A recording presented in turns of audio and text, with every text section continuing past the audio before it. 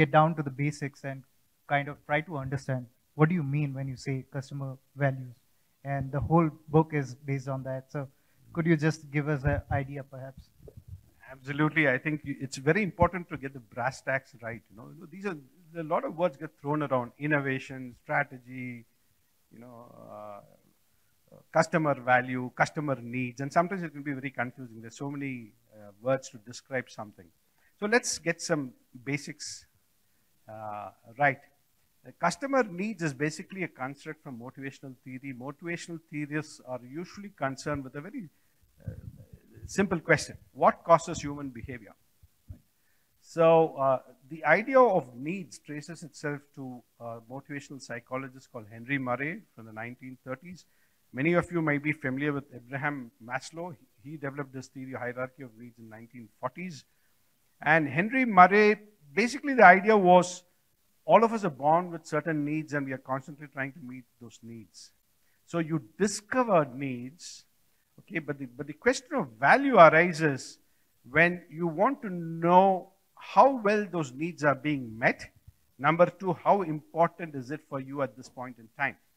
So value is constantly being created. Needs are being discovered. It's like an onion, you're just peeling off the layers, right? So you'll never come across the phrase needs creation. You would come across the phrase, phrase value creation. That's a space that marketers are constantly uh, trying to do. So there are two variables that you actually are uh, seized of.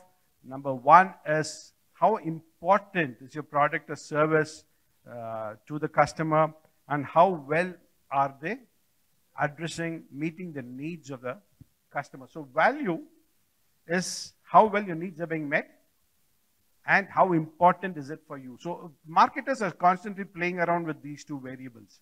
So if health is not important for you right now, and I'm providing a product or service in the, the, that addresses that particular need, I will try my best to move it up the, your priority list. When I do that, your antennas are up.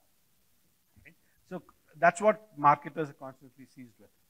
Right. So it's interesting that you speak about marketing and customer value, of course, and you've penned a good book on that. So let me ask you this: What was the genesis? What did you draw upon to particularly pen this book? Uh, the book is basically the second book of mine. My first book got uh, published in 2018, again through Rupa. It was titled Unmet Needs of Entrepreneurship Why Entrepreneurs Do What They Do.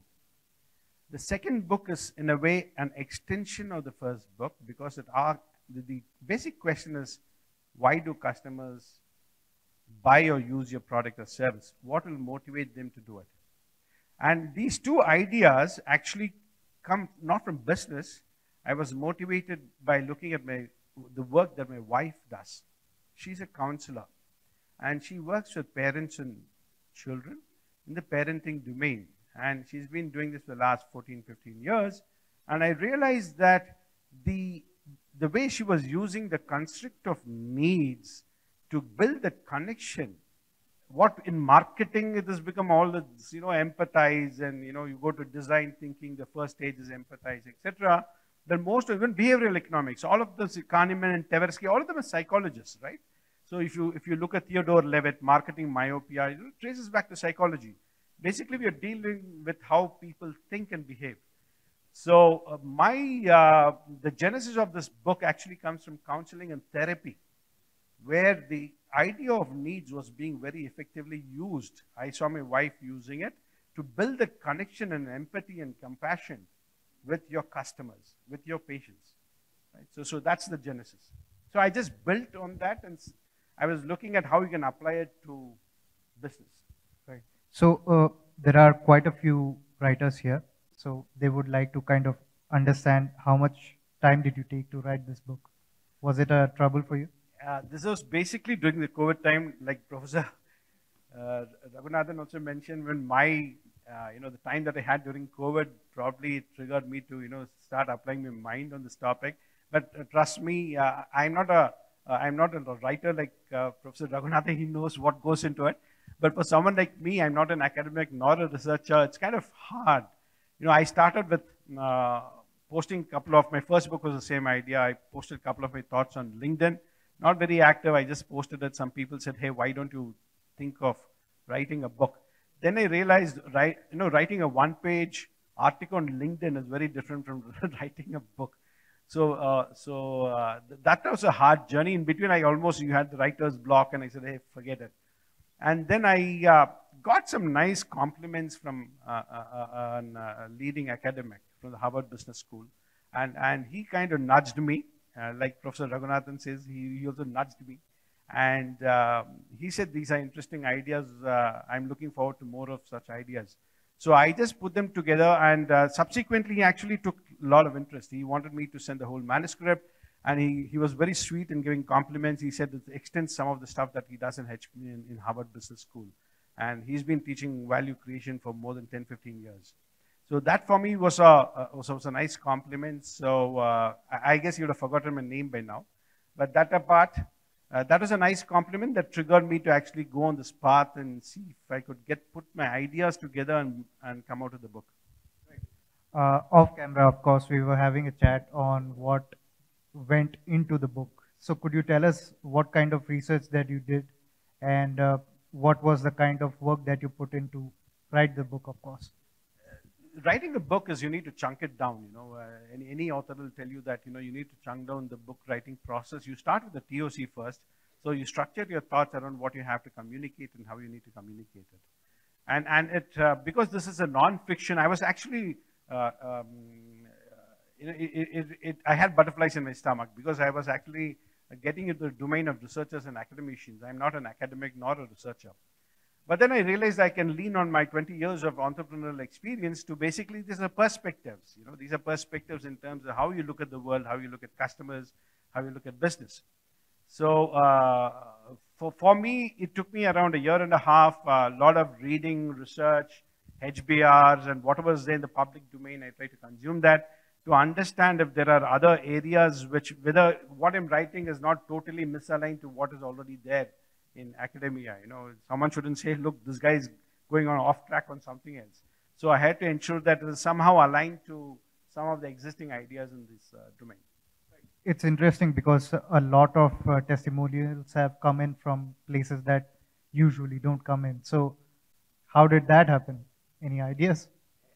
So basically, you know, when, when, it comes to you, you obviously seek testimonials when you're not so well known and and uh, you want to uh, reach out to people who, who can endorse your uh, thinking and what goes inside the book. So I was thankfully, uh, I got some good endorsements from both academics uh, globally and also from CXO level thought leaders of uh, companies across domains, whether it's Marico, Coca-Cola, Perfetti, many a MasterCard. So many of them, so, so they kind of endorsed the book, they were kind enough. and somewhere some obviously took more interest than uh, what one would usually show interest in. So, so, uh, but testimonials is something that you'd have to reach out and get endorsements. Right. So one of the things that you've highlighted in your book is the idea of co-creation. All right. So, and you have uh, really, really underlined that. What is the? Could you tell us, tell the audience, how, what is the need of co-creation and uh, what are the benefits of it? Co-creation is a terminology that's actually, uh, you know, it's got the attention of a lot of people in the last 15 years, and it's not something new. We we have been doing all the time, but by, by but by you know what management gurus and academics and researchers do is they come out with phrases. When you come out with phrases, you basically shift your attention to, to a particular point of view and the way you think around that particular topic. So co-creation is something where in B2B especially, you know, when you have companies that co-create solutions along with their customers, it can produce value for both the customer and uh, the supplier. Uh, I can give you an example of LSI Logic. It's a company that's actually famous in ASIC and EDA design. ASIC is basically, you know, uh, specialized uh, chips for uh, application-specific ICs. It's a small market, a 15 billion uh, market as of 2019, but they disrupted that market. Uh, the economies of scale didn't, uh, it was a problem for people who are looking at custom chips. It was very expensive and Intel wouldn't be interested. So they stepped in and uh, how did they do it? What they did was the, the design and development and conceptualization of the chip, everything was passed on to the customer. So earlier, LSI was doing it. They said, look, this is something you guys can do it at your own pace. So I, I reduce my cost because I don't have to hire people. I am able to give the design software to my customers who will build as per their requirements and give to me. I do the fab, right? So uh, LSI was able to, LSI was able to disrupt uh, by co-creating solutions. And that's one example that's uh, at the top of my mind. But it, it, the co-creation part is kind of difficult. It's nice on paper. It, there's a lot of trust issue. There are a lot of other issues uh, related to co-creation for every story, uh, successful story in co-creation, you'll have so many stories that actually have failed. Okay, so but yeah, that, that's one way to actually discover and create value. One of the topics that is interesting and very relevant in today's times for businesses is customer loyalty. All right, in this age of e-commerce and uh, so many websites, how do you maintain and how do you kind of bring the customer in for the long run? I wish I had an answer, but let me tell you, it's very hard. Especially if you're going to buy a product, same product, if you that's listed on Amazon and, and, and elsewhere and you get a 20% discount, you are going to be drawn towards buying that product from Amazon, right? So it becomes pretty hard when you're just competing on price. So uh, as we all know, one of the strategies, business strategies that uh, for leadership is differentiation and cost leadership, focus, etc. But on, on differentiation, the thing is, how do you create the perception of value for a customer? Now, here I wanted to draw your attention to something that you might have a satisfied customer, but the customer need not be loyal to you, even if they are satisfied. So one of the uh, factors that can actually contribute to loyalty is trust. So how, when you have to buy a flat from, say, apartment or property from Tata's, there's a reason you go to Tatas because there is a trust element. You know that Tatas care for you. you know, there's something wrong also, something the building collapses, you'd ensure that you, you'd still be protected. So trust is of two types. You know, you have credibility trust, you have benevolent trust. Credibility trust is something that most anyone in business is constantly working at. So am I am I delivering on what I have promised to my customer? Right? Uh, is it on time? am I, uh, all the deliverables as per my promise, etc., etc. But increasingly, benevolent trust has become extremely important. Customer, it's not all about I, me, myself, and my profits. It's also about where is you, where is the customer footprint in what I'm actually doing. So if, if the perception for the customer is that you're a benevolent supplier who's also interested in my welfare, it increases the perception of value for, for the customer. So benevolent trust is something that most, most suppliers are seized with. Uh, how do I develop the benevolent quotient? Now, nowadays, you know, it comes out in so many other different forms, so the messaging is very similar. Yeah, Industry 5.0. You talk about sustainability, you talk about climate change. Basically, you're talking about uh, how benevolent are you as a supplier? Are you only thinking about your profits, or are you also concerned about me? my second last question would be, if time allows me, my last. So I would like to ask you, what are the key takeaways that the readers will walk away with when it comes to your book? Like I said, the book addresses two very fundamental questions. Where does customer value reside and how to find it? So I have, I have provided a very simple framework uh, which will allow you to implement and execute these ideas in a practical way in your own organizations. So what, what could happen is uh, uh, you will be able to build a team with which develops the innovation mindset, the mindset of collaboration and creativity and ideation. So if you want to do all of that, it's a good idea to have a diffusible tool. My book ends with the tool. at the end of the day, you read a book, you say, hey, this is all nice. So what do I do next? It's a nice read, but what do I do? So from a practitioner's point of view, I have also provided a tool. I, I also have my own online course and on my own LMS. So that allows you to think in a structured fashion and diffuse the ideas across an organization, have constant, what I refer to as value storming exercises, where ideas are focused on customer value. So you are constantly having conversations about what is it that the customer truly wants, right? And how do I discover it? Right. So those were some great responses. I would like to open the floor to whatever questions our audience might have. Anyone wants to ask any questions? Yep. The gentleman there.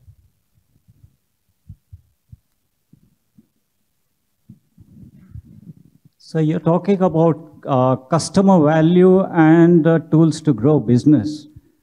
Uh, but uh, hitherto, we have been seeing that uh, most of these uh, European and Western countries, they fail to give state-of-the-art technology to India. Just a small example, GM has closed their shop in India, but they could have brought out that Chevrolet Volt, an EV vehicle, and tried to market it, but they didn't do it and even Nissan Leaf, uh, for that matter, which is the largest EV uh, seller. See, these are things which are happening. Why? Uh, what is your take on that? Uh, let me. Is it Indians are not all that uh, this thing for uh, buying or something? Okay, let me. I think this is a very interesting question that you ask, and and immediately top of mind recall I have a couple of examples that will illustrate the the kind of challenges that one faces. It's not about technology and let me give you a couple of quick examples uh, to illustrate the point. You know, Harley Davidson, you know, it's a, phenomenal bike, great on technology, and very popular in the US. And after 10 years, they shut shop in last September, I think September 2021, after being in India for 10 years. In 10 years, they sold only 27,000 units. And it's not about technology. Technology is phenomenal. The problem is not getting the customer right. Who's going to pay for it? Their, their, uh, the bike costs, it's a high bore vehicle, 450 cc and above. 90% of the market in India is 150 cc. And you, they sold only 27,000 units in the last 10 years.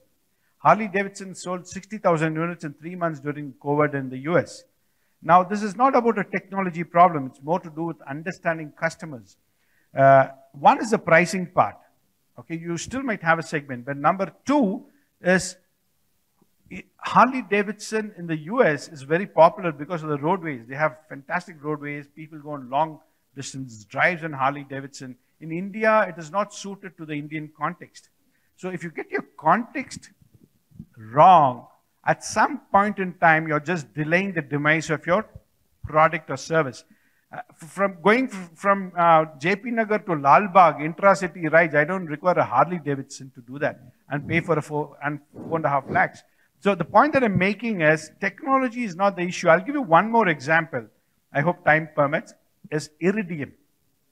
In the late, late 90s, I'm not sure if you're uh, uh, familiar with this. Motorola introduced uh, this fantastic, phenomenal idea of uh, having 66 satellites launched you know, the whole idea was they said, why are we having telecom towers on land-based systems? It's so expensive, cabling and installing these towers. Why don't we just have satellites that not only cover land-based systems, but also sea-based systems and air-based systems? Phenomenal idea, absolutely brilliant minds working on it, PhDs and all kinds of engineers, researchers. Single largest uh, bankruptcy, startup bankruptcy in India, in American business history, $5 billion. In one, after one year, they shut shop. They were looking at selling half a million handsets. They sold only 10,000. Within a year, they shut shop. Now, if you ask yourself the question, is it about technology? No. Some of the best minds, most brilliant people, lot of money, it failed. Why did it fail? Two simple questions. They didn't think about the customer. See, the, the handset costed something between 3,000 to $5,000 or $5,000, $6,000. The talk time, I'm talking about late 90s, 3 to $5 per minute. It didn't resonate with customers. The price point is not okay. Clunky handsets, the form factors are not okay. So you miss the customers outside the uh, your, your whole uh, product and service, you're not thought about the customer and what the customer can afford to pay. So within a year, it just failed. So coming back to the point, you had given a couple of examples. It's not always about technology, but if you don't understand your customers right, at some point in time, you wind up. Any other questions? Uh, Hi, sir. back. Good evening.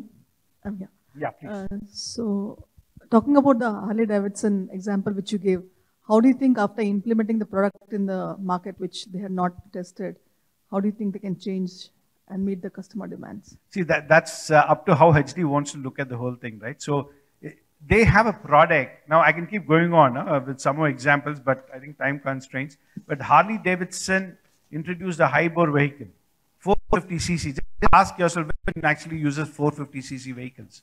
Unless and you want to go probably on a highway, there's a fantastic highway, you go and ride on a, you can't, you can't even show off with a 450cc uh, vehicle, right? So if you don't get the basics right in terms of who's your customer audience, who are you building your product for, who's going to pay for it, how much will they pay for it, then if you, those basic questions were really not perhaps thought through, the context in which use the uh, vehicle, uh, somewhere it's not going to be aligned to uh, you know the customer's requirements, and it may, it's bound to fail sometime. Thank you. sir. Right. That was uh, Mr. S. Parthasarathy setting the context of customer value. And thank you everyone for listening and Thank, thank, you, for- thank you.